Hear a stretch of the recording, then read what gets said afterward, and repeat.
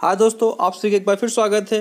राम की नगरी अयोध्या से और चित्रकूट के बीच जल्द शुरू होगा 112 किलोमीटर के राम वन गमन पथ का निर्माण। सोच रहे होंगे कि ये राम वन गमन पथ का मतलब क्या है? तो हम आपको बता दें कि जब राम भगवान जो चौदह साल के लिए उनको वनवास भेजा गया था तो उस चौदह साल में वो जिस जिस मार्ग से होकर गुजरे थे उसी को हम राम वन गमन पथ बोलते हैं। यह पथ बहुत ही बड़ा है लेकिन अभी जो फ़िलहाल काम शुरू होने वाला है वह जो उत्तर प्रदेश में जो राम का वन गमन था उसी पे होने वाला है।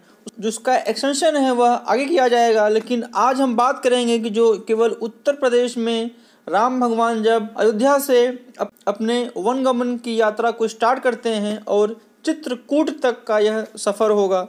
तो यह इसकी जो शुरुआत है वह अयोध्या से शुरू होकर के चित्रकूट के राजापुर तक रहेगा। तो जो अयोध्या से प्रतापगढ़ के मोहनगंज तक करीब 100 किलोमीटर सड़क पहले से बनी हुई है, उसके आगे मोहनगंज से अवतारपुर होते हुए सड़क बनाई जाएगी। रास्ते में श्रृंगवेरपुर में गंगा पर ब्रिज बनाया जाएगा और सब कुछ ठीक रहा तो चित्रकूट से अयोध्या के बीच रामवन गमन पथ साल भर में धरातल पर नज़र आने लगेगा।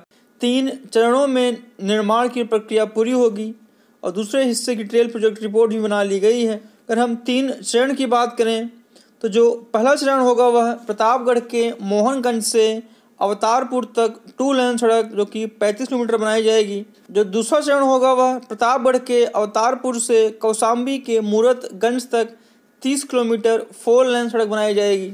इसमें कानपुर, वाराणसी बाईपास पर फ्लाईओवर और श्रृंगवेरपुर में गंगा पर फोर लेन ब्रिज भी बनाया जाएगा। ब्रिज का जो दूसरा छोर कौसाम्बी में कुरई घाट पर होगा और मूरतगंज के निकट जीटी रोड पर फ्लाईओवर भी बनाया जाएगा। सड़क मूरतगंज बाज़ार बाईपास कर रोही ओवरब्रिज से मिलेगी। जो बाईपास के पास रोही ओवरब्रिज है, वहाँ से मिलेगी। और जो तीसरा चरण है, वह मूरतगंज से राजापुर, जो चित्रकूट में है, तक सैंतालीस किलोमीटर बनेगी। मंझनपुर तक फोर लेन रोड है, उससे और सुदृढ़ किया जाएगा। इसका जो खास बातें हैं, वह यह है कि 112 किलोमीटर का तो टोटल हमारा राम वनगमन मार्ग होगा। इसमें 35 किलोमीटर टू लेन होगा, जो कि मोहनगंज से अवतारपुर तक होगा।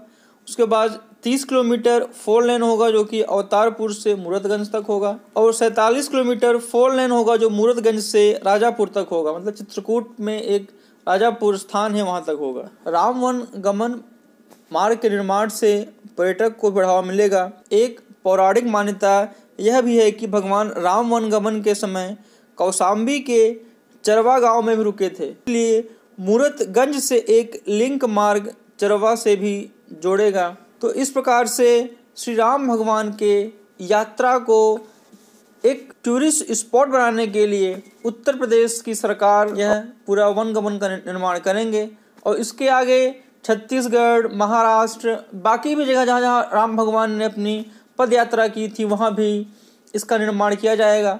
तो साथियों, आज के लिए बस इतना ही। हम आपको राम वन गमन पथ का जो अगली सीरीज़ है, उसमें बताएँगे कि अब यूपी के चित्रकूट का जो राजापुर जगह है, वहाँ से आगे का रास्ता भगवान ने क्या लिया था? तो आगे की वीडियो को सबसे पहले आने के लिए चैनल को सब्सक्राइब ज़रूर करें। धन्यवाद।